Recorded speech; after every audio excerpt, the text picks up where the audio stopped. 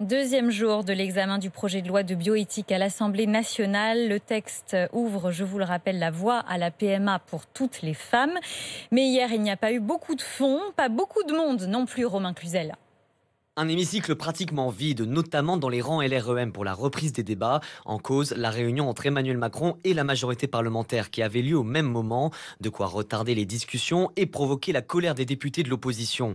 Irrespectueux du grand n'importe quoi pour les députés Les Républicains et la France Insoumise, tandis que Sébastien Chenu du Rassemblement National dénonce la désinvolture de la majorité sur ce texte, un texte pourtant sensible avec l'ouverture de la PMA à toutes les femmes. Après ces crispations, les débats ont finalement peu avancé sur le fond hier soir Seulement quatre amendements ont été votés et ils concernaient l'intitulé du premier titre du texte. Les députés ont fort à faire pour les quatre prochains jours d'examen de la loi puisqu'ils doivent voter sur près de 2300 amendements.